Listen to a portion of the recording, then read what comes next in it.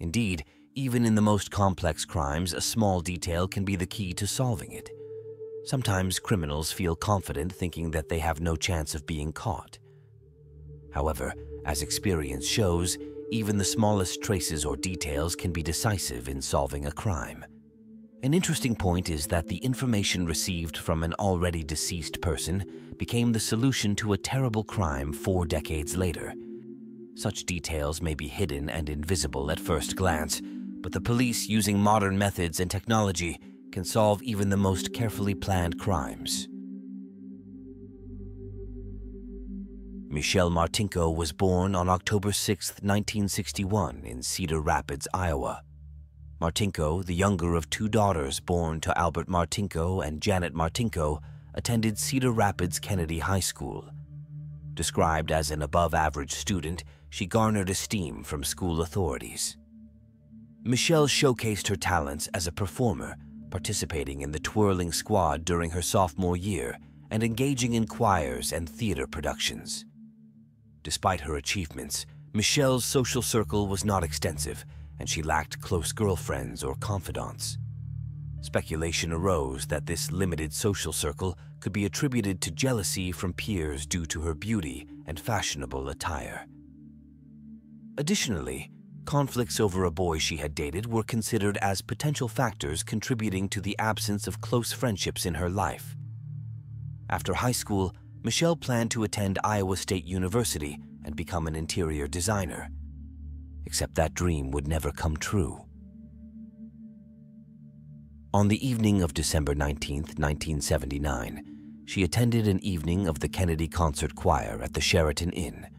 She wore a black jersey dress, a black scarf, black tights, and heeled shoes. On top, she wore a white and brown waist-length rabbit fur jacket and grabbed a brown leather purse. After the event was over, she asked her friend if she wanted to keep her company and go shopping at the newly opened Westdale Mall, where Martinko worked. The friend declined, so Michelle went shopping alone. She had $186 in her purse, which she planned to spend on a new winter coat. Being there, she went shopping, talked to acquaintances who also worked in the shopping center. She was last seen between 8 and 9 o'clock in the evening, near a store with jewelry. By 2 a.m., Martinko had not returned home, and her father reported her missing. Together with the police, the father began searching for his daughter. At 4 a.m., police located Martinko's family car, a brown and green Buick Electra. It was parked in the northeast corner of the mall parking lot. Michelle's body was lying on the passenger seat. She had been stabbed. Investigators counted 29 stab wounds on her face, neck, and chest. The wounds on her arms were self-defense wounds. Since there was no blood outside the vehicle, it became clear that Michelle was killed right in the car. A subsequent autopsy revealed that her death occurred between 8 and 10 o'clock in the evening. The murder weapon was a stabbing and cutting object, not necessarily a knife. Its size could not be established because the police did not find fingerprints at the crime scene. They assumed that the killer acted with gloves. Money was found in Michelle's purse, so the robbery version was ruled out. All the Michelle clothes were intact. It was also determined that she had not been sexually assaulted, but police believed the motive could still have been sexual, and Michelle had struggled so much that the perpetrator might not have been able to carry out his original plan. Police deemed the crime a personal count murder based on the number and locations of the stab wounds. Despite the police obtaining blood scrapings from the car's gearshift and discovering a blood spot on Michelle's black dress, it's important to note that DNA analysis in 1979 was not as accurate as it is today. The technological limitations of that era meant that the investigation didn't benefit from the advanced DNA testing methods available now. Even though Michelle was observed by multiple people inside the mall and had parked her car there, no witnesses came forward to confirm seeing her inside her car or witnessing anyone approaching her during that time. The lack of such testimony added a layer of mystery to the events surrounding Michelle's tragic case. One of the initial individuals questioned by the police was Andy Seidel, Michelle's former boyfriend. Michelle and Andy crossed paths when she was 15 at a roller skating rink, with him being just a year older. They were in a relationship for two years, but Michelle decided to end it. According to her friends, Andy didn't handle the breakup well, exhibiting an intense interest in her activities and relationships. Police found that on December 19th, Andy met Michelle at the mall. When questioned, he stated that he went home afterward. His alibi was supported by his mother, confirming his presence at home that night shortly after the mall closed. Andy maintained that he and Michelle had amicably grown apart, leading to the end of their relationship. Despite lingering suspicions and rumors, the police lacked concrete evidence against Andy, and he faced no arrest or charges. After high school, he left Cedar Rapids and enlisted in the Navy. Even in his absence, lingering doubts persisted, with some believing he might be responsible for Michelle's murder and speculating on the potential emergence of sufficient evidence to prosecute him. The case eventually went cold. On June 19, 1980, six months after the murder, the police published a sketch of the alleged killer. The description of the killer was provided by two witnesses. They described a young white man, about 20 years old, 180 centimeter tall and weighing kilogram, with brown eyes and brown curly hair. In the year following the murder, hundreds of people were questioned, and about 30 of them were interrogated under hypnosis. A reward of $10,000 was offered for information about the killer. In the early stages of the investigation, police officers consulted psychics. Time passed, and the case was still unsolved. In the mid 80s, Michelle's father, Albert Martinko, sued the owners of Westdale Mall. He accused the mall management of negligence and failure to provide adequate security for customers. The case went to trial. The trial took place and the outcome of the hearings was that the Westdale Mall management was the winning party. There was a lull in the case. Albert died in 1995, and Michelle's mom, Janet Martinko, passed away in 1998. The parents never found out who killed their daughter. It would seem that with the death of Michelle's parents, the hope of finding her killer died. But in 2005, a fresh team delved into the case. Upon reviewing the case file, detectives noticed an oversight. A previous detective had sent the blood scrapings from the gear shift of the car for testing, but the results were not documented in the file. Detectives took the initiative to obtain these results and made a significant discovery. There was male DNA present on the gear shift. Furthermore, the blood spot on Michelle's dress contained a complete male DNA profile that matched the DNA profile identified on the gear shift. To further investigate, the blood samples were submitted to CODIS, the nationwide database containing DNA profiles of individuals convicted of crimes. However, no match was found in the database, adding a layer of complexity to the ongoing investigation. Nevertheless, the investigation persisted, prompting a re-evaluation of individuals in Cedar Rapids through renewed interviews and the collection of DNA samples. Andy was approached by the police to provide a DNA sample, a request he willingly fulfilled. Upon analysis, his DNA did not match, leading to his exclusion as a suspect. After nearly three decades, Andy was ultimately vindicated and officially cleared of any involvement in the case. In 2015, Matt Denlinger assumed the role of lead detective and sought assistance from Virginia's Parabon Nanolabs. The objective was to generate a visual representation of the potential suspect using the available DNA sample. Through their analysis, they concluded that the suspect was probably a white male with blonde hair and blue eyes. Various sketches were created, each offering a slightly different depiction of how the suspect might have appeared at the time of Michelle's murder. Parabon also provided images of what the man might look like today. During a press conference in connection with the new information, one of the classmates, Michelle Martinko, said that the face from the new identikit is similar to the face of another of their classmates. However, 11 years earlier, DNA samples were taken from all classmates, and after the study, all suspicions were removed from them. After the publication of a new sketch of the killer, police received more than a hundred new messages from citizens. Later, Parabon once again played a pivotal role in Michelle's case by utilizing the public national database GEDmatch. This database allows individuals to voluntarily submit their DNA for the purpose of tracing their family trees.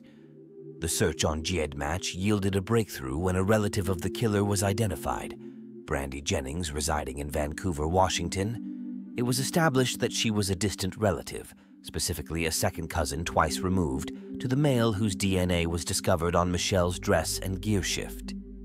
With the assistance of genealogical records, birth records, gravestone records, and internet searches, law enforcement pieced together Brandy's family tree. Collaborating with Parabon, the focus narrowed down to three brothers residing in Iowa Kenneth Burns, Donald Burns, and Jerry Burns. In October 2018, police discreetly obtained DNA samples from the brothers without alerting them to the ongoing investigation into Michelle's murder. Through surveillance, they acquired a straw used by one brother, two straws from another, and discovered a toothbrush in the trash used by the third brother. These samples were sent for testing to determine if any matched the DNA profile on file. The results identified Jerry Burns as an exact match, and it was revealed that he was 25 years old at the time of Michelle's murder. On December 19, 2018, investigators went to Burns' office to interview him. He refused to voluntarily hand over a sample of his DNA, but was forced to provide it when investigators showed a search warrant. His hands were examined for scars that may have been from the attack on the girl. Burns claimed he did not know Martinko and was elsewhere at the time of her murder. Although he did not directly deny involvement in her murder, he found no explanation for why his DNA was at the crime scene. According to investigators, Burns expressed little to no emotion when questioned, even when he was informed of his arrest. When asked if he had killed anyone that night in 1979, Burns repeatedly replied, Test the DNA. A repeat, now official DNA test showed a 100% match to blood from the murder scene. Jerry Lynn Burns was charged with first degree murder. He never pleaded guilty. Burns' trial was scheduled for October 14, 2019, but in September, his attorneys requested a postponement so they could have time to gather information and interview witnesses. The defense also asked that the trial be moved from nearly the most populous county in Linn County. The attorneys attributed this to the tremendous amount of attention the case has garnered over the past 40 years and the fact that many people have developed a bias in the case. The prosecution did not resist these demands, so the trial was moved to February 10, 2020 in Scott County, the third most populous county in Iowa. At the preliminary hearing, Burns' attorneys argued that police officers acted illegally when they took DNA from Burns' blood tube without a warrant. However, the judge ruled that the discarded item could not be recognized as private property. The defense also requested that Burns' cell phone search history not be shown at trial. Investigators examined his phone's search queries in 2018 and found that he regularly visited websites that showed blonde women being assaulted and strangled.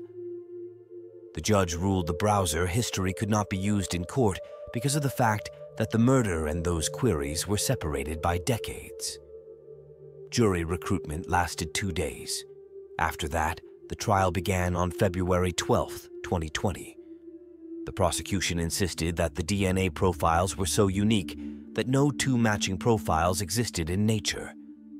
The medical examiner who performed the autopsy and the investigators who conducted the original investigation described how the case was investigated in those years.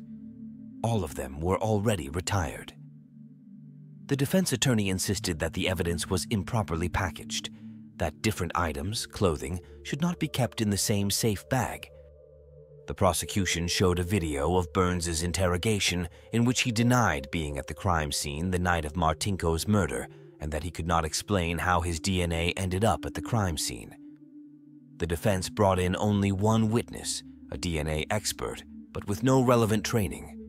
He testified that gross errors were made in the collection of evidence. He stated that Burns' DNA could have gotten on Michelle's clothes sometime earlier through airborne droplets.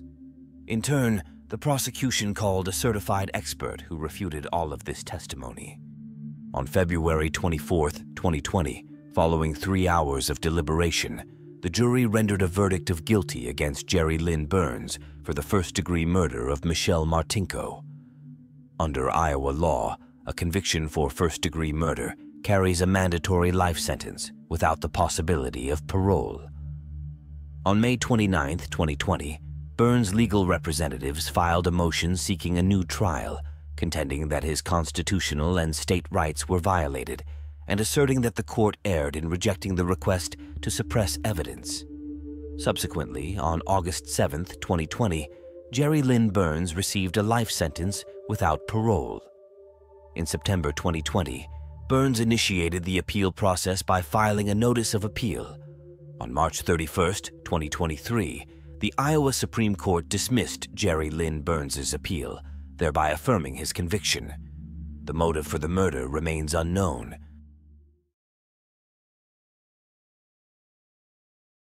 On November 16, 2012, a distressing 911 call was received by the dispatch center in Lake County, Ohio. The caller, a highly agitated teenage girl, struggled to communicate due to extreme distress. Eventually, it became clear that she was reporting that her older sister was attacking their mother. Law enforcement quickly responded to the residence, where they encountered the frantic caller. She explained that her older sister 18-year-old Sabrina Zunich was stabbing their mother. Upon their arrival, Sabrina emerged from the house holding a bloodied knife. Police demanded she drop the weapon, and she complied. Inside the residence, a gruesome scene awaited them. Lisa Marie McIntosh, born on May 20, 1971, in Reynoldsburg, Ohio, was the daughter of William and Rita McIntosh. Lisa, a single mother, had a daughter from a previous relationship. In 2006, she married Kevin Knoefel, who had a son from a prior relationship. The couple welcomed their daughter in 2009. Lisa, a social worker specializing in child abuse cases with the Department of Children and Family Services, had a genuine passion for aiding others. Demonstrating their commitment to helping children, Kevin and Lisa decided to become foster parents. A friend of Lisa noted, when she had foster children, she treated them like her own she made sure she went the extra mile to be a good parent. In the summer of 2011, Sabrina Zunich, aged 16 at the time, became part of their household. Sabrina Zunich was born on October 27, 1994, in the vicinity of Cleveland, Ohio. Her upbringing was marked by significant challenges, as both of her parents grappled with alcohol and substance abuse issues, leading to a highly unstable home environment. Sabrina's early experiences were marred by the criminal troubles of her parents, and even during her infancy, she was exposed to substances like vodka in her bottle to induce sleep. These circumstances contributed to Sabrina developing behavioral and mental health issues, including ADHD, oppositional defiance disorder, bipolar disorder, anxiety, and depression. Following the removal from her parents' custody, Sabrina went to live with her grandmother. Unfortunately, her grandmother's declining health coincided with Sabrina's teenage years, and her rebellious behavior became challenging for her grandmother to handle. At the age of 14, Sabrina entered the foster care system, experiencing placements in various homes and group settings before ultimately being placed with Lisa and Kevin Knoefel in 2011. Under the care of Kevin and Lisa, Sabrina made strides in turning her life around. She began attending school regularly, achieved good grades, and aspired to become a massage therapist. Sabrina seamlessly integrated into the family, forming positive connections with the two girls and actively participating in school. When she reached the age of 18 and was eligible to leave foster care, Sabrina opted to stay with Lisa and Kevin to complete her education expressing contentment in their home. However, the tragic question arises. What drove Sabrina to fatally stab her foster mother in the presence of Lisa's two young daughters? On the fateful evening of November 16, 2012, while Kevin was away working as a truck driver, Lisa was at home with the children. During the night, the teenage and three-year-old daughters heard their mother's screams and discovered Sabrina repeatedly stabbing Lisa. In the midst of the horrifying scene, the younger child sought refuge in a closet, while Lisa's teenage daughter desperately pleaded with Sabrina to stop the assault and promptly called 911. The situation was described as absolutely chaotic, with the distraught caller informing the police that her sister was fatally stabbing their mother. At the scene, Lisa Knoefel was pronounced dead, and Sabrina was arrested on the spot, and the murder weapon, a 15-inch knife with a 9-inch blade, convex and serrated, lacking a hilt, was recovered from the house.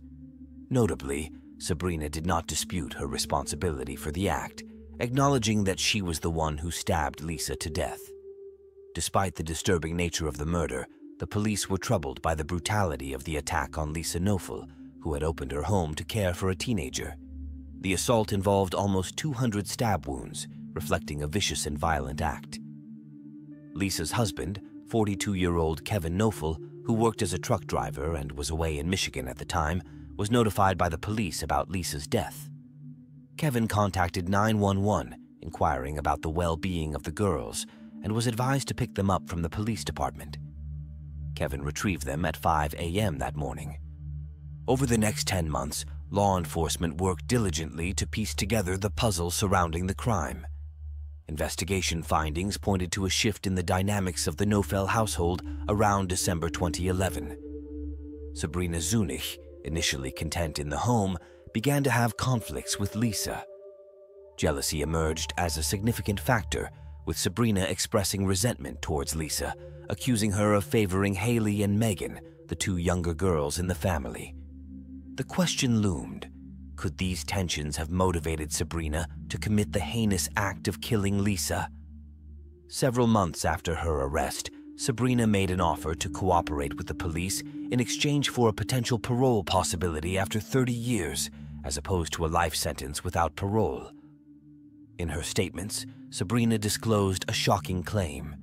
She alleged to have had a sexual relationship with her foster father, Kevin, According to Sabrina, this relationship commenced in the spring of 2012, and she asserted that it was Kevin's idea to plot and execute the murder of Lisa.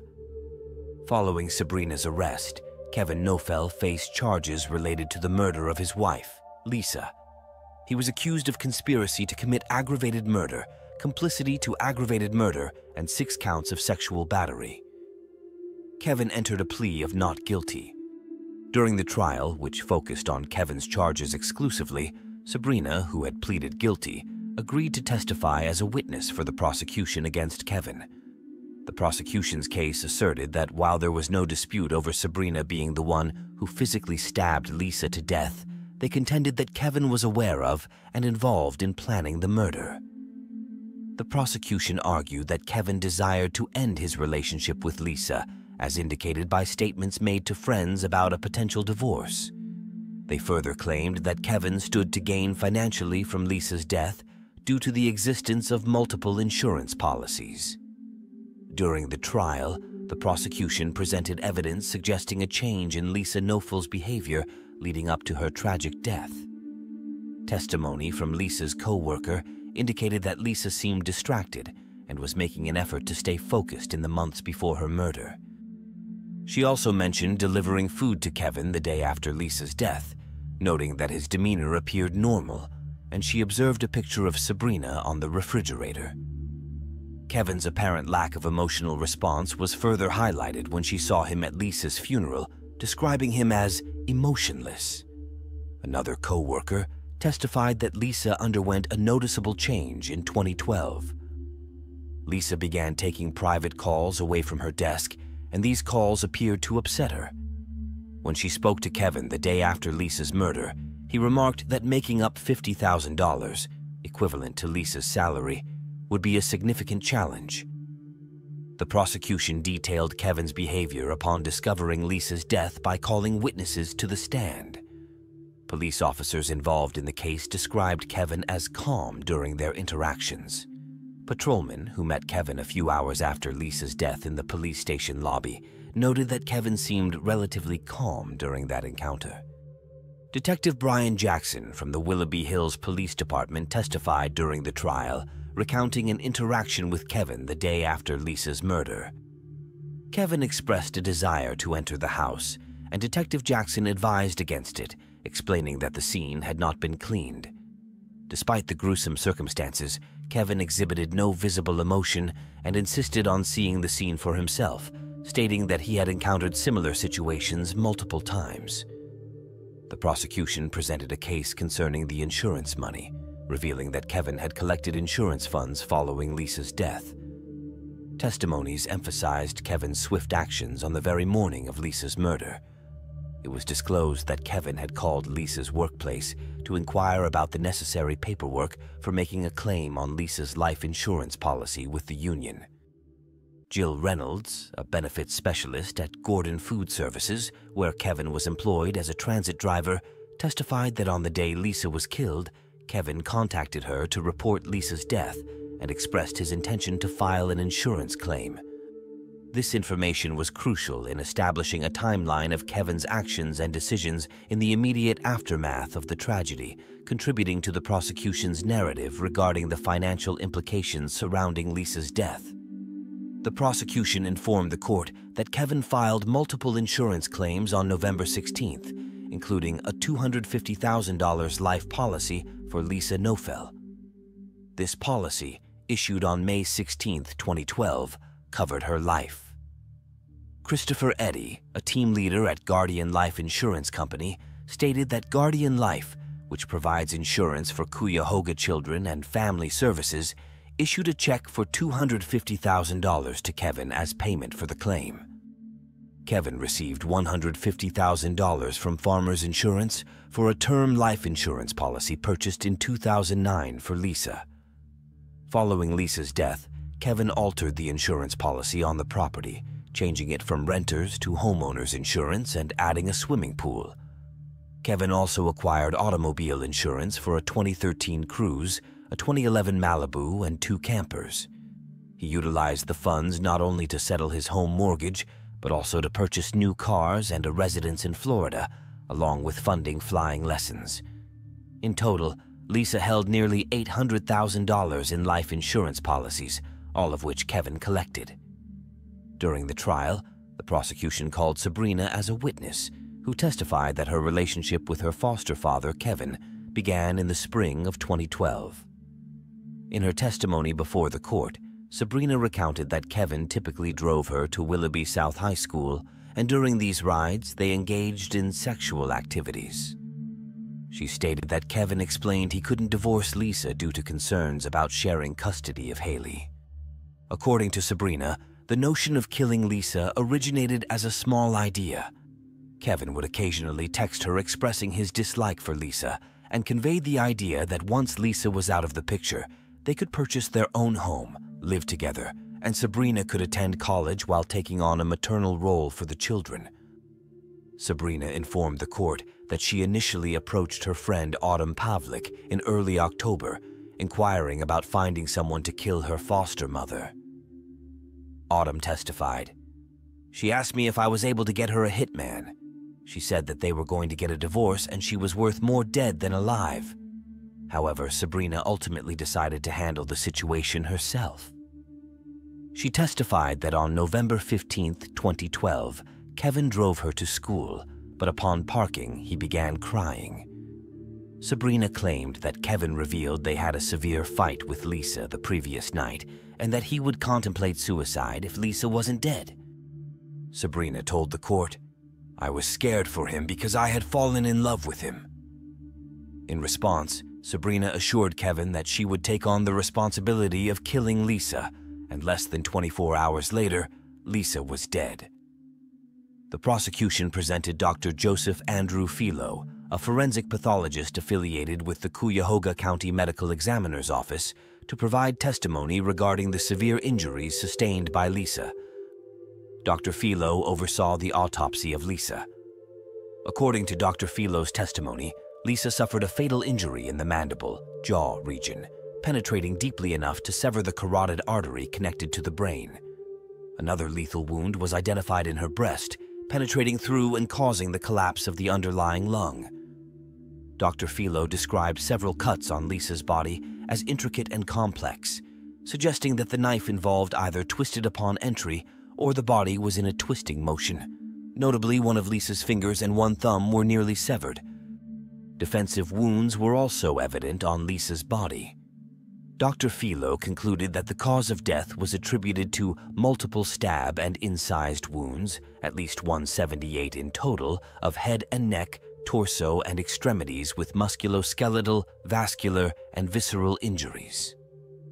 The brutality of the assault was underscored by the fact that the knife used had become bent due to the extreme violence inflicted during the attack. The defense asserted that Kevin was not guilty and placed sole responsibility for Lisa's death on Sabrina.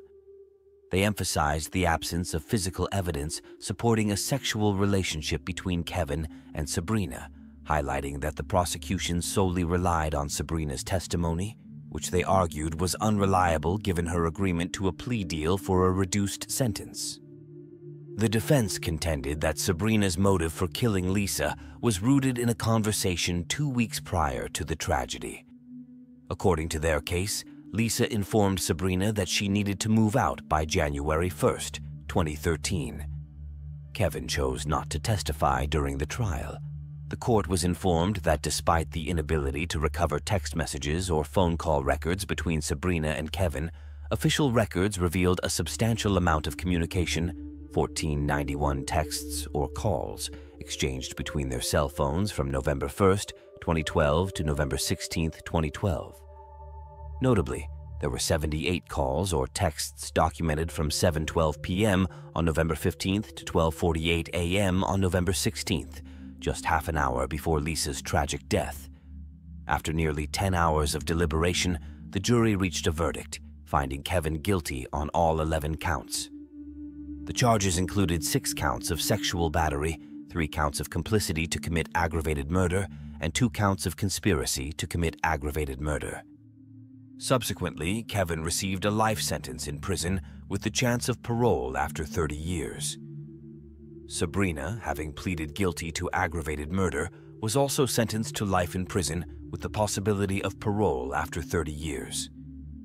The legal proceedings concluded with both individuals facing significant penalties for their roles in the tragic events. Hence, at present, Kevin remains behind bars at the Lake Erie Correctional Institution in Conneaut, Ohio, with an expected parole date of 2043, while Sabrina is incarcerated at the Dayton Correctional Institution in Dayton, Ohio, with an expected parole date of 2042. On the 29th of September 2015, a Tuesday, Kelley Clayton, aged 35, was residing at her residence in Elmira, New York, United States, accompanied by her two children, her seven-year-old daughter, Charlie, and three-year-old son, Cullen. Their abode was situated on Ginnon Road, within the Steuben County town of Caton. Kelley, a native of Elmira, had departed in her 20s to pursue her aspirations of becoming a model. Relinquishing her teaching profession, she secured employment as a cocktail waitress in Las Vegas, where she relished an exhilarating experience. However, upon encountering Thomas Clayton, a hockey player for the semi-professional Elmira Jackals, she returned to Elmira to embark on a life journey with him. They wedded and subsequently welcomed two children into their lives. Thomas Clayton spent four seasons playing for the Elmira Jackals hockey team, starting as a forward straight out of Niagara University. Alongside his hockey career, he ventured into entrepreneurship by establishing a fire and water damage restoration franchise called Paul Davis Emergency Services of the Southern Tier. Later, he transitioned into the role of project manager at Servpro, a similar franchise owned by his friend Brian Lang.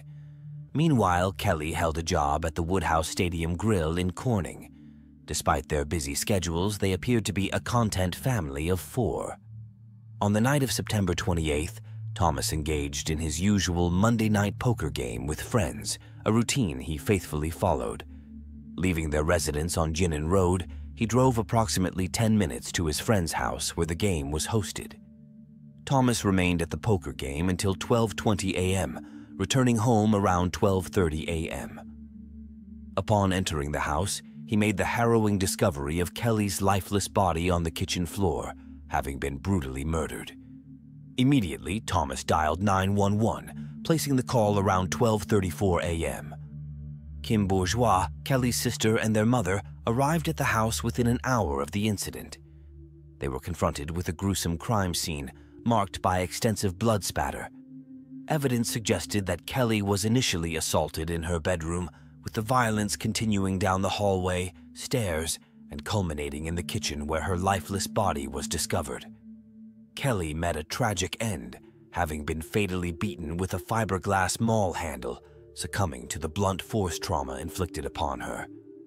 Shockingly, Kelley's children were present during the horrifying attack. Her seven-year-old daughter recounted the events to the police, describing a robber in the house that night. She provided a chilling recollection of witnessing her mother's savage assault and hearing her desperate pleas for escape. Kelley's daughter recounted to the police that she witnessed a man harming her mother. According to her testimony during the night, an intruder entered their home and began assaulting her mother with a pipe-like object. She described the scene as chaotic, with blood present even on her door and the floor. The assailant pursued her mother downstairs while she screamed at her to flee. The attack persisted downstairs, with the child witnessing the assailant striking her mother until she collapsed. In a heart-wrenching moment, she hugged her mother's leg as she lay suffering on the ground. Kelley's daughter embraced her mother tightly as she lay on the kitchen floor in her final moments. Afterwards, she hurried upstairs to check on her younger brother. When questioned by the police, Kelley's daughter described the assailant as wearing dark jeans, a long-sleeved shirt, and a mask. When asked about his build, she likened him to her father in size and noted that his eyes appeared similar. Despite no visible signs of forced entry or indication of a robbery, a family member at the scene suggested the police investigate a man named Michael Beard. Beard, a former employee of one of Thomas's businesses who had been terminated and was facing eviction from his rented apartment owned by Thomas, came under scrutiny. Inside the house, law enforcement personnel interpreted the scene as possibly stemming from a domestic violence incident, leading them to request Thomas's presence at the police station for questioning. Police verified Thomas's alibi and found evidence supporting his presence at a poker game on the night of the incident, confirmed by witnesses at the game and his GPS data. However, upon deeper investigation into Thomas's alibi, Linda Miller, a woman who attended the poker game with him, informed the police that Thomas had used her phone approximately 90 minutes before Kelley's body was discovered. Although Thomas had deleted this call, phone records revealed that he had contacted Michael Beard, as a result of this new evidence, Thomas was charged with second-degree murder. Phone records revealed a pattern of frequent calls and texts between Thomas and Michael. Subsequent analysis of cell phone records indicated that shortly after Thomas contacted Michael on the night of the murder, Michael became mobile. Police began to suspect that Kelley's death might have been orchestrated as part of a murder-for-hire scheme. Adding weight to their suspicions, investigators found that just a year prior to Kelley's murder, Thomas had doubled her life insurance policy, now valued at $1 million. Moreover, it came to light that Thomas was engaged in multiple extramarital affairs, with some of the women alleging that he had expressed fears of losing his assets in a divorce. During questioning, Michael confessed to police that Thomas had hired him to carry out the murder in exchange for $10,000 in cash. He disclosed the whereabouts of the murder weapon, a maul handle located off State Route 225 in Southport. Additionally, Michael revealed that Thomas's house keys were submerged in a shallow creek in Elmira Heights, and a bag containing the clothes he wore on the night of the murder could be found in Elmira. Michael reiterated his admission of guilt before a grand jury, both Thomas and Michael were indicted on charges of first-degree murder and underwent separate trials, with Michael's trial proceeding first. Despite his initial confession, Michael pleaded not guilty during his trial and recanted his statements to the police. He claimed that Thomas had tasked him with setting fire to the house to claim insurance money. But upon arriving at the scene, he discovered Kelley's lifeless body and fled in panic. However, besides his confession, compelling evidence linked Michael to the murder. Physical evidence directly tied him to the crime scene, including the murder weapon, house keys, and the clothing he wore that night, with DNA matching Kelley's daughter's description found on the clothes. According to testimonies presented in court, Michael entered the Clayton residence that fateful night using a key, gaining access through the garage door before proceeding upstairs. Kelley was asleep in her bedroom when Michael launched his attack, striking her twice with the maul handle. Despite Kelley's attempt to defend herself, she fled towards her daughter's bedroom at the end of the hallway, only to fall down the stairs and collide with the landing wall in her desperate bid to escape. Despite her efforts to evade him, Kelley was pursued by Michael into the dining room and eventually the kitchen, where he ruthlessly continued his assault, inflicting vicious and brutal blows to her head and face. Michael was convicted of first-degree murder and received a life sentence without the possibility of parole. In contrast, Thomas Clayton's trial was more complex than Michael's. While direct evidence directly linked Michael to the crime, Thomas's case relied solely on circumstantial evidence. Thomas maintained his innocence and pleaded not guilty. The prosecution argued that Thomas desired to end his marriage to Kelley, feeling constrained by their relationship due to his numerous affairs and gambling habits. They contended that Thomas sought the freedom to live as he pleased and saw Kelley as an obstacle. It was their assertion that he enlisted Michael to murder Kelley, not only to achieve this freedom, but also to benefit financially from the insurance policy. Thomas allegedly confided in some of the women with whom he was having affairs, expressing concerns about divorcing Kelley for fear of losing his assets. During the trial, several women, whom the prosecution claimed Thomas was involved with, testified and recounted disparaging remarks he made about Kelley to them. The court was also informed that Thomas had made a troubling statement to Kelley's niece, implying an ominous future. This is going to be the last Christmas with me around, and us being together as a family. The prosecution faced the challenge of demonstrating to the jury the connection between Michael and Thomas, particularly establishing how they were acquainted. While it was undisputed that Michael worked for Thomas, the key was to present sufficient evidence indicating that Thomas had hired Michael to carry out Kelley's murder. Evidence presented in court revealed that just 12 days prior to Kelley's murder, Michael's employment under Thomas was terminated, resulting in financial strain that led to difficulties in paying rent for the apartment he rented from Thomas. Notably, Michael lacked personal transportation and a driver's license. Additionally, a few days before Kelley's murder, Thomas purchased a bicycle for Michael, which became his means of transportation. Throughout this crucial 12-day period, Thomas and Michael maintained frequent telephone contact, which raised suspicions regarding the nature of their relationship and the circumstances surrounding Kelley's murder. Six days prior to Kelley's murder, an individual from Thomas's company contacted a nearby storage facility, inquiring about the coverage of surveillance cameras outside the premises, specifically inquiring if the company's property fell within their surveillance range. Three days following this inquiry, Thomas himself reached out to an acquaintance, questioning whether surveillance cameras were present outside an inn located in Elmira. Although the acquaintance was uncertain and offered to investigate further, Thomas dismissed the matter, indicating there was no need for further inquiry. Interestingly, this inn later became the location where Michael would discard certain items from the night of the murder. On the night of the murder, Thomas attended a poker game, but notably, he did not use his own vehicle for transportation. Instead, he utilized one of the company's trucks.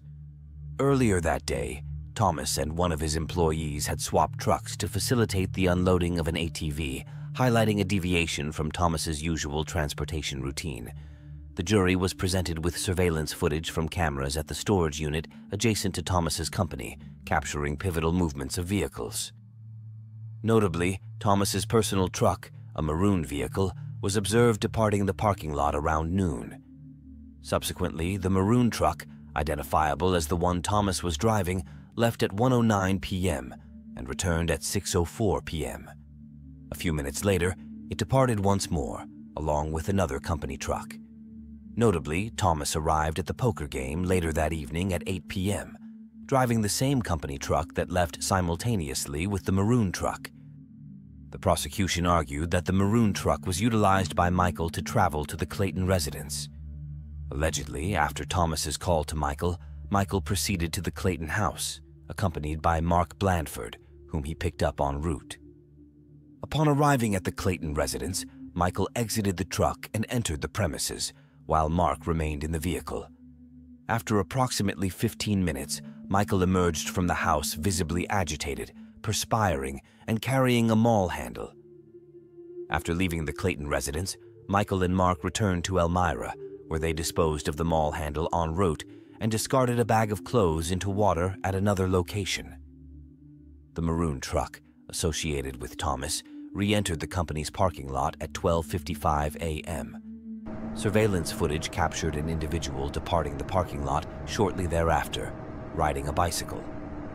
Upon returning home from the poker game and discovering Kelley's body, Thomas contacted emergency services.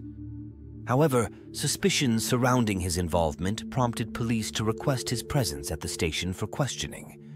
Thomas, seemingly confident in his alibi, responded to the police by stating, Well, you'll know where I am because my vehicle has GPS on it. Thomas was found guilty of first degree murder and sentenced to life in prison without parole. Thomas's appeal was unsuccessful, and his conviction for first degree murder was upheld by the appeals court. Mark Blandford admitted guilt to second degree manslaughter for his involvement in the crime, asserting that he was unaware of the events that would unfold that night. As part of a plea agreement, he received a sentence of three to six years in prison and testified against Thomas. Police investigation suggested that the night of Kelley's murder may not have been the initial planned date. It was believed that Thomas intended to be out of town in Ohio during the week of September 21, 2015, with Michael supposed to carry out the murder then. Thomas drove a company vehicle to Ohio, leaving his personal truck near Michael's residence. However, nothing occurred that week, prompting the plan to be rescheduled for the following week, resulting in Kelley's brutal murder in her own home. Not only were her children present, but her daughter witnessed the violent and vicious murder. Toni Jill Bertolet Henthorn, the daughter of Bob and Yvonne Bertolet, was born on January 10, 1962, in Jackson, Mississippi. After graduating from Trinity High School in 1980, she went on to achieve honors and magna cum laude status at the University of Mississippi Medical School in 1988. Toni's professional journey led her to work as a surgical and cosmetic ophthalmologist at Associates in Eye Care in Denver, where her excellence earned her a place in America's top ophthalmologists by the Consumer Research Council in 2006. Beyond her medical career, Toni was actively involved in her community, attending and teaching Sunday school at Cherry Hills Community Church. Toni was not only an accomplished pianist, but also possessed a beautiful voice participating in various church choirs. Her commitment to her faith extended to her insightful contributions to GotQuestions.org, where she regularly shared her perspectives on Christianity. Harold and Toni Henthorn first connected online in 1999 and swiftly tied the knot after a mere nine months. Despite Toni's thriving career as an eye surgeon, her foremost aspiration was a fulfilling marriage and a family. This aspiration appeared to materialize when she encountered Harold, who presented himself as an affluent entrepreneur involved in fundraising for educational institutions and churches. Upon their meeting, Harold convinced Toni to relocate from Jackson, Mississippi to Colorado. Despite the challenges associated with leaving behind her family and friends in Mississippi, Toni eagerly embraced the prospect of forging a new life with her husband. The culmination of their family occurred in 2005 with the birth of their daughter, Haley. On the 29th of September 2012, a Saturday, Toni Henthorn and her spouse, Harold Henthorn, were engaged in a hiking excursion at the Rocky Mountain National Park in Colorado, USA, commemorating their 12th wedding anniversary. Just prior to 3.30 p.m., they deviated from the trail, having lunch atop a picturesque cliff. Continuing off the designated trail, they discovered a cliff beneath their lunch spot by 4.45 p.m. In less than half an hour, Toni tragically plummeted 130 feet to the ground from the same steep cliff. At 5.54 p.m., almost 45 minutes after the fall, Harold dialed 911, reporting the incident. He informed the authorities that it took him 15 minutes to reach Toni and an additional 30 minutes to assess and relocate her. During the 911 call, Harold disclosed their location near the mountain summit, expressing concern about Toni's weakened breathing and head injury. Requesting a helicopter, he later spoke to another operator, mentioning that he had created a fire in a rock enclosure and observed a decline in Toni's breathing, eventually confirming its cessation. Harold, guided by the operator, attempted chest compressions. In a subsequent 911 call, Harold inquired about the arrival of assistance. The operator informed him that the ranger was calling out for him, but Harold claimed not to have heard any calls. The EMT ranger arrived around 8 p.m., conducting an examination that unfortunately revealed Toni's demise. Authorities interviewed Harold regarding the circumstances of Toni's death. Despite claiming he did not witness Toni's fall, stating he was engrossed in reading text messages and only saw a blur, Harold provided conflicting accounts to others. In one instance, he asserted that Toni had ventured too close to the edge, while to someone else, he contended that Toni was attempting to take pictures and slipped. Upon receiving the tragic news of Toni's demise, her parents, Bob and Yvonne Bertolet, had a stark reaction. Bob immediately asserted he pushed her. Initially perceived as an accidental death, it became evident that Toni's parents harbored concerns about her well-being for a considerable period. When Toni first met Harold, she was a high achiever and a self-assured woman. However, her confidence waned after moving to Colorado with Harold, who gradually assumed control over her life. Even during phone calls from her parents, Harold would intercept and put the conversations on speakerphone. Toni's parents grew apprehensive, suspecting that Harold might not be the prosperous businessman he claimed to be, possibly relying on Toni's income. Yet, it wasn't just his financial situation that troubled them. They felt he isolated Toni from her family and friends. A sense of unease persisted, prompting Yvonne to seek conversations with Toni. However, every attempt to discuss Harold's job, the couple's financial situation, or his pervasive control over Toni's life was met with the same response from Toni. Raising these issues would lead to consequences for her. One particular incident intensified their worries to the extent that they hoped Toni would sever ties with him. During their visits to Harold's cabin in West Denver, an alarming episode unfolded. While Haley was asleep, Harold requested Toni's assistance in clearing debris. During this task, something struck the back of Toni's neck with such force that she required hospitalization Harold later claimed that a large piece of lumber had fallen off the porch and hit her. This incident heightened Toni's parents' concern for her safety, leading them to implore her not to be alone with him. Upon investigating Toni's death, the police uncovered disconcerting details that raised suspicions. Numerous inconsistencies emerged in Harold's accounts of the hike, the area, and the events of that fateful day. Harold informed a ranger that he and Toni had initially planned to hike the Bear Lake Trail, a half mile of paved walking with no elevation gain, a suitable choice for Toni, who had undergone three knee surgeries and could no longer ski. However, Harold later told the ranger that they opted for the Deer Mountain Trail to avoid crowds. This trail spanned three miles, ascending 1,200 feet from its trailhead to the 10 200 foot summit. Harold asserted to the ranger that he was unfamiliar with the area and had been there only once. However, police, scrutinizing his phone records, discovered that he had visited the location eight or nine times in the six weeks leading up to that day. Additionally, he exhibited knowledge of the specific site, including the steep cliff where Toni fell. Despite mentioning seeing a white sheet on the cliff, it had been removed by the Park Service a week prior to Toni's fall. Inside his car, the police found a park map with a pink X marking the spot where Toni fell. The police found Harold's 911 call troubling. Despite claiming a low phone battery, which limited his ability to speak, he proceeded to make 22 calls and sent or received 98 text messages.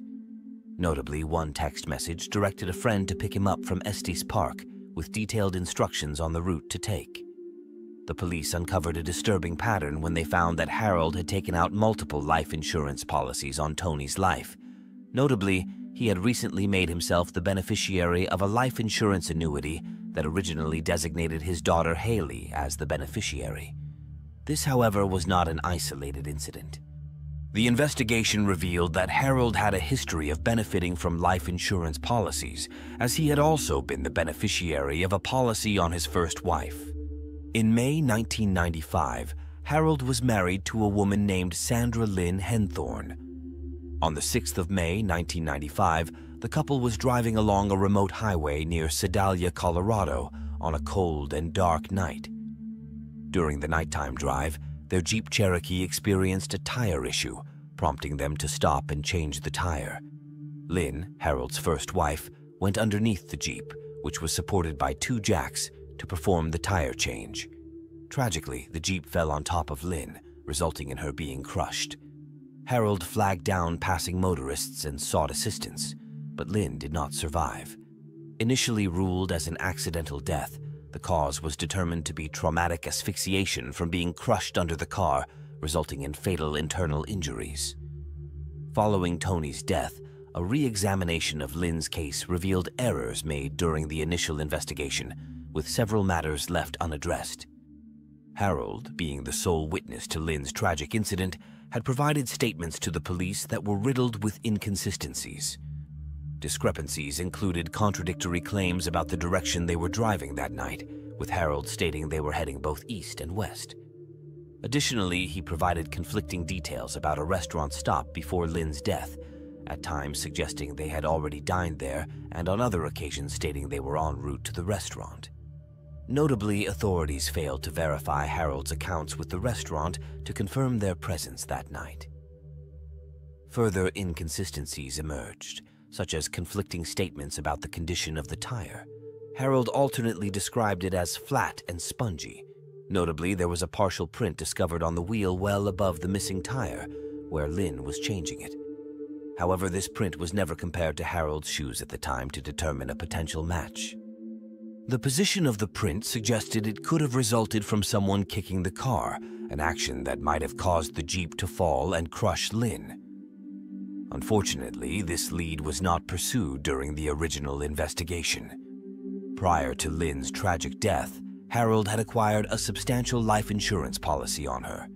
While he informed the police that he would receive $300,000, an independent verification would have revealed that he was actually slated to receive double that amount.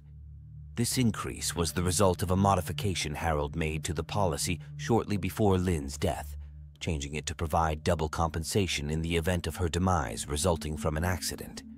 Moreover, the investigative file highlighted an encounter with a mechanic who drove by Harold and Lynn around 9.30 p.m., offering assistance. Harold declined the mechanic's offer. The file also referenced an individual named Patricia Montoya. A day after Lynn's death, Patricia contacted the police and inquired, Did you arrest the husband yet? Patricia recounted to the police that she and her family were on their way home in a car around 10 p.m. when Harold flagged them down seeking help. Despite their attempts to locate a phone to call 911, they couldn't find one, so they proceeded to pull Lynn out from under the car. Harold vociferously objected to their intervention, shouting at them not to touch her. Even when they attempted CPR, Harold resisted and refused to provide his coat to keep Lynn warm. Lynn was eventually airlifted to a nearby hospital but succumbed to internal injuries during surgery.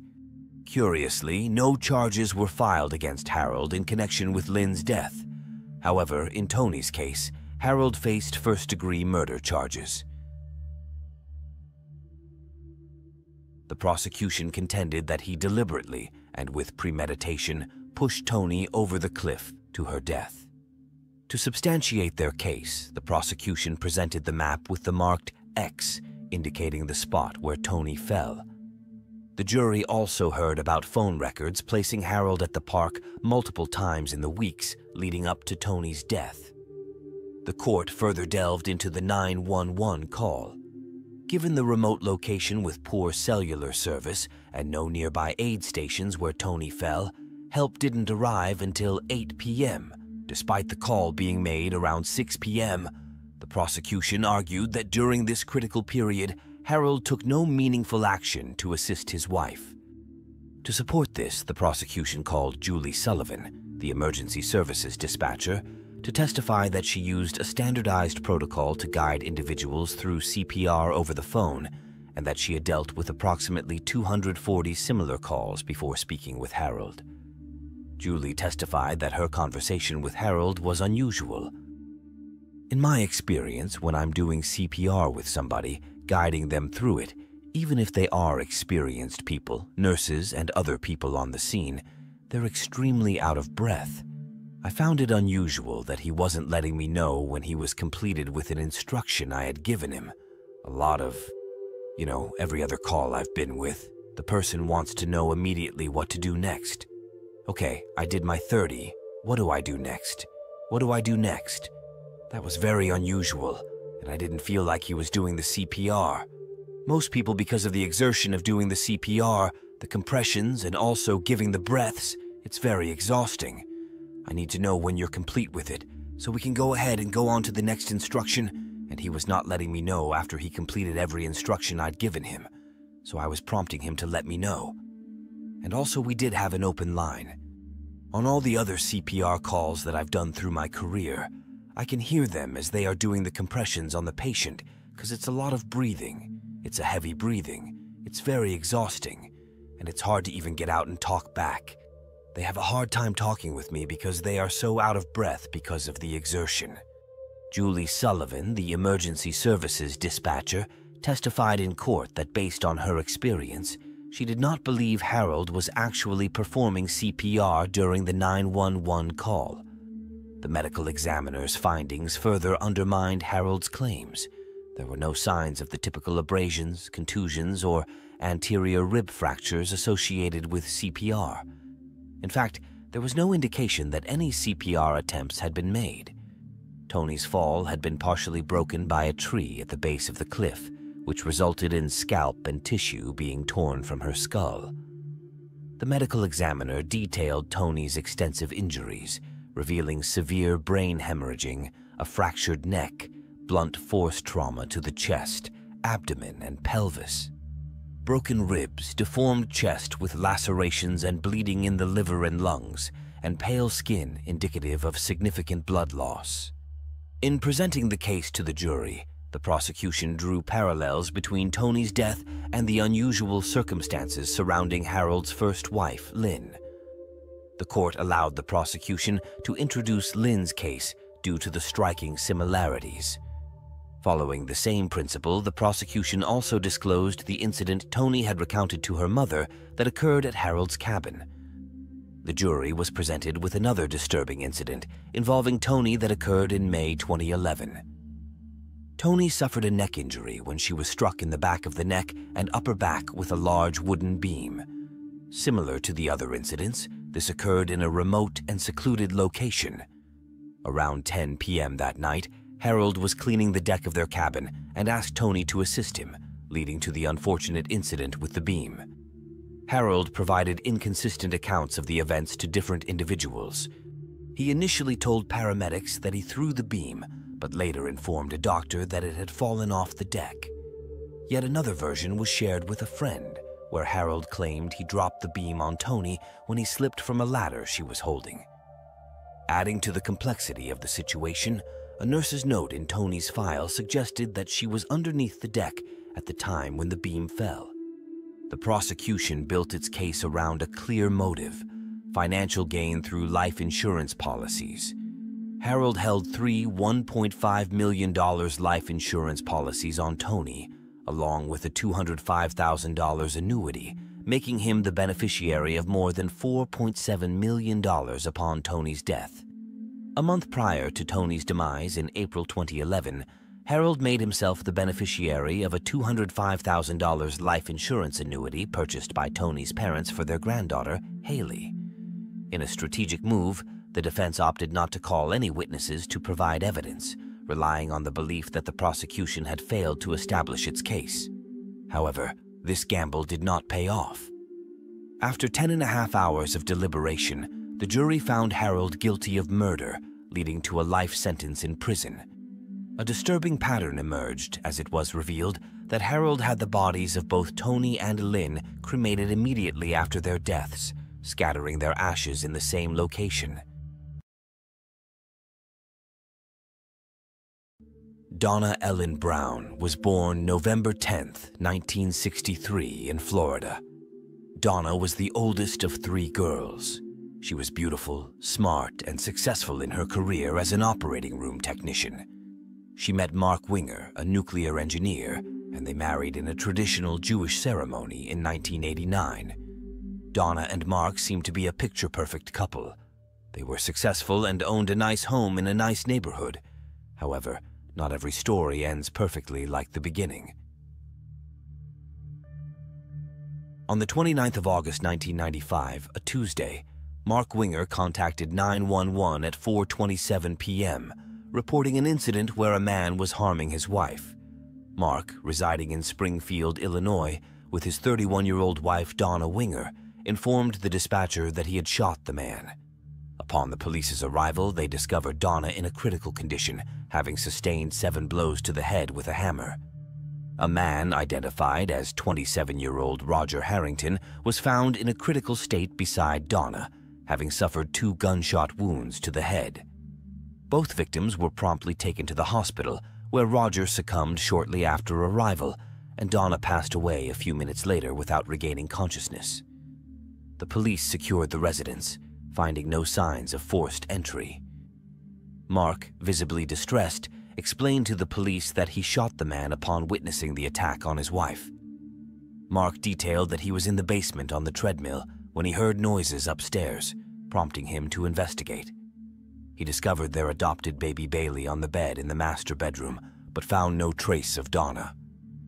Upon hearing more noises downstairs, Mark retrieved his handgun from the bedroom nightstand and proceeded towards the dining room. According to Mark, he observed a man wielding a hammer in the hallway, assaulting Donnah. Mark shot the man, and upon an attempt to rise, Mark fired a second shot. The police located the blood-covered hammer used in the assault, which belonged to both Donnah and Mark. Additionally, a .45 caliber semi-automatic handgun, confirmed by Mark as the weapon used, was found in the house. When Mark inquired about the identity of the man who attacked his wife, the police confirmed it was Roger. Mark then stated, That's the man who has been harassing my wife this week. As per Mark's account, Donnah had traveled to visit her parents in Florida six days prior.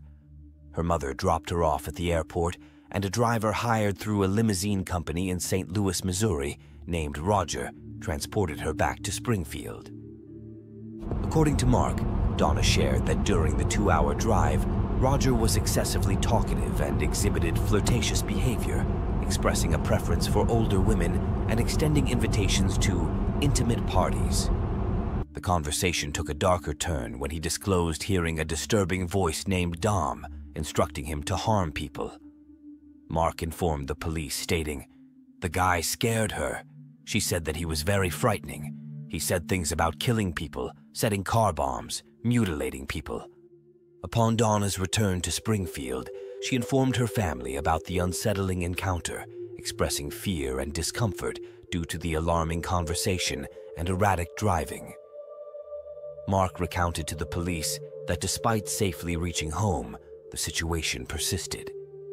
Donna received numerous peculiar phone calls, and based on the timing, she suspected Roger as the caller. In the house, the police discovered a note describing Donnah's unsettling car ride. Mark also informed the police that he reported the incident to the limousine company where Roger was employed, resulting in Roger's suspension, which Mark believed might have escalated the situation. The police discovered Roger's car parked outside the Winger house, facing the wrong direction. Upon inspection, They found various weapons inside, including a knife and a tire iron. Authorities concluded that Mark acted in self-defense, and they decided not to press charges considering the traumatic circumstances. The case was closed with the acknowledgement that Mark had already endured significant distress. Mark appeared profoundly affected by the events.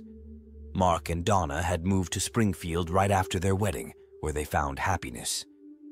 Donnah worked at Memorial Medical Center as an operating room technician, while Mark served as an engineer for the Illinois Department of Nuclear Safety.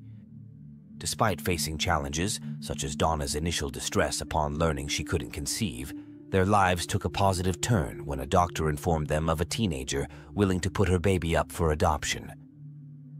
Donnah and Mark gladly welcomed their adopted daughter, Bailey, on June 1, 1995. Following Donnah's tragic death, Mark, now responsible for the infant Bailey, opted to stay in the same house. To help with childcare, he hired a nanny, Rebecca Simic. Unexpectedly, a few months into her employment, Rebecca discovered she was pregnant with Mark's child. They named their daughter Anna. Subsequently, Mark and Rebecca got married just over a year after Donnah's passing. Mark made the decision to sell the house and severed ties with Donnah's family. The new family, consisting of Mark, Rebecca, Bailey, and Anna, moved to a different town. Over time, they expanded their family further with the addition of two more children, Maggie and Ben. In 1999, Donnah's close friend, Deanne Schultz, revealed to the police that she had an affair with Mark while Donnah was still alive, and Mark made troubling statements that stayed with her. According to Deanne, Mark expressed, It would be easier for us to be together if Donnah just died. All you'd have to do is come in and find the body. Deanne also shared disturbing information that raised concerns for the authorities. When Mark learned about Donnah's unsettling experience during the car ride back to Springfield, he allegedly told Deanne that he needed to have the driver in his house. This revelation prompted the police to reopen Donnah's case. However, they discovered with disappointment that some evidence had gone missing. Mark initiated a civil lawsuit against BART Transportation, seeking accountability for Donnah's death due to Roger's actions. As Roger was an employee of BART Transportation at the time of Donnah's death, his attorney requested access to the evidence and files for the civil suit. Despite this, the police managed to retain some files and accessed photos taken on the day of the incident. These images depicted Donnah and Roger on the ground before being taken to the hospital. However, the positions of the bodies seemed inconsistent with Mark's earlier account given to the police years ago. At the time, Mark informed the police that he encountered Roger kneeling beside Donnah's head, assaulting her with a hammer, prompting him to open fire. Mark claimed that Roger fell backward, and attempting to rise, Mark shot him again. According to Mark's description, Roger's position should have placed his feet near Donnah's head, facing the opposite direction. However, upon reviewing the photos taken by the police upon their arrival, it appeared that both Roger and Donnah were on the ground facing the same direction. This inconsistency led the police, for the first time, to entertain the suspicion that Mark might have been involved in his wife's murder. The question of why Roger was at their house on that day remained unanswered. Simultaneously, during the civil suit involving Mark, a potential explanation emerged. BART Transportation enlisted a blood spatter expert, whose analysis suggested that the blood spatter patterns indicated Mark's involvement in the deaths of both Donnah and Roger. As the police delved deeper into the investigation, they uncovered additional incriminating evidence. Roger's roommate, Susan Collins, informed law enforcement that she overheard Roger arranging a meeting with someone on the day he was killed. Furthermore, a note written on a bank deposit slip inside Roger's car was discovered, containing Mark's name, address, and a specified time. Susan shared with the police that Roger had mentioned agreeing to meet Mark to resolve issues stemming from Mark's complaints about Roger's driving and the concerning conversation he had with Donnah. Roger left the house at 3.30 p.m., and the note indicated a meeting time of 4.30 p.m., aligning with the prosecution's belief that Mark had asked him to come to the house at that time. On August 23, 2001, Mark was arrested and charged with two counts of murder. The prosecution argued that Mark was responsible for both Donnah and Roger's deaths. They contended that Mark desired to remove Donnah from his life, but didn't want to risk losing custody of their adopted daughter, Bailey, and therefore avoided divorce. Allegedly, Mark saw an opportunity when he learned about Donnah's troubles with Roger, viewing it as a perfect chance to eliminate Donnah and frame an innocent man. The prosecution proposed that Mark contacted Roger, whom he had never met before that day, and asked him to come to the house.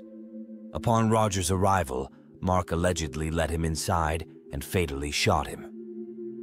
The absence of forced entry at the residence supported this narrative. The prosecution further claimed that Donnah, who was in the master bedroom with Bailey, heard the gunshot, went downstairs, and was subsequently beaten to death with a hammer by Mark before he called 911. To establish that Mark had lured Roger to the house, the prosecution presented the note found in Roger's car, which contained Mark's name and address. The jury learned that although Roger had weapons in his car, he didn't bring them into the house and instead used Donnah's hammer in the attack. This raised questions about Roger's intentions if he had indeed gone there with the purpose of assaulting Donnah. The court was also informed about the inconsistencies between the location Mark claimed Roger was in when he shot him and the photos taken on the same day, which contradicted Mark's account. Deanne's testimony played a crucial role, shedding light on the statements Mark allegedly made expressing a desire for Donnah's death. The court learned that four days before the murders, on August 25, 1995, Mark had asked his co-worker, Candice Bolden, about the fate of his adopted daughter if Donnah were to die. Later that day, Mark contacted Ray Duffy, the president of the transport company where Roger worked, to complain about Donnah's ride. A few days after, Mark called again, seeking the driver's full name and expressing a desire to discuss the matter directly with him. During the trial, the court was informed about the severe injuries sustained by Donnah and Roger. When the police arrived at the house, Donnah was found lying face down on the floor, and Roger was on his back. Donnah's cause of death was determined to be brain trauma resulting from multiple blunt force injuries to the head consistent with hammer strikes. Roger died from brain trauma caused by gunshot wounds to the top left side of his head and above his left eyebrow with additional contusions on his chest from hammer strikes. The defense contended that Roger's erratic decisions that day, including the choice of weapon and the peculiar parking of his car, indicated mental instability, a claim they asserted was evident from his behavior during the car ride with Donnah. Regarding the position of the bodies in the photos, the defense argued that although Donnah and Roger were critical when paramedics arrived, they weren't deceased, and the paramedics might have moved them in attempts to save their lives. However, the paramedics denied moving them before the photos were taken, and Mark did not testify during the trial. Concerning Deanne's testimony, the defense claimed she was motivated by personal feelings of rejection. While Mark admitted to having an affair with Deanne, he moved on with the nanny he hired soon after Donnah's death, marrying her shortly thereafter. The defense asserted that Deanne harbored resentment for not being chosen by Mark to marry, Despite the defense's arguments, the jury found Mark guilty of two counts of first degree murder, and he received a life sentence without the possibility of parole. In 2005, while still serving time for the first degree murder convictions, Mark became involved in a murder for hire plot that was thwarted. Allegedly, he attempted to orchestrate hits on Deanne for testifying against him and on Jeffrey Gelman, a childhood friend, for not posting his million dollar bail investigators discovered 19 handwritten pages outlining Mark's desires for Deanne. He reportedly wanted her kidnapped and coerced into writing a statement recanting her testimony, asserting Mark's innocence before planning for her demise. Mark claimed in court that these notes merely represented a fantasy he never intended to carry out. Despite Mark's assertion, he was found guilty of solicitation of murder and received an additional 35-year prison sentence.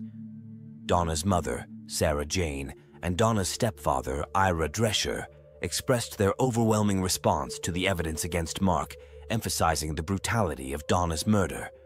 What's so hard to understand is the way he murdered Donnah was so vicious and so violent. Throughout these legal proceedings, Mark has maintained his innocence. Deanne, who provided testimony against him, was granted immunity and faced no charges as a result.